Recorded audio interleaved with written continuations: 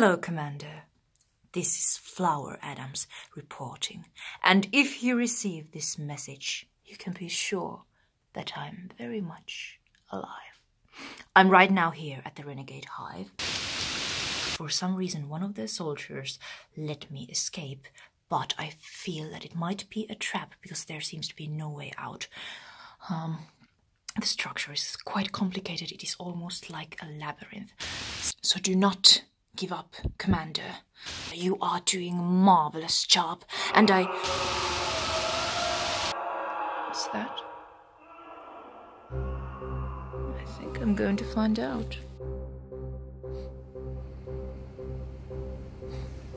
I guess this is it. Don't worry. I'll tell them that Flower Adams killed you. And then I'll catch her, bring her back, and then I'll be the hero. The little prince is gonna be too far away. It wasn't that long ago when I released her. Traitor. The only law is your will, isn't that what the book says? The book also tells that betrayal is defined by the betrayed. Whatever. You were never that nice, you know. I'm a renegade. I'm not supposed to be nice. Let's get this over with.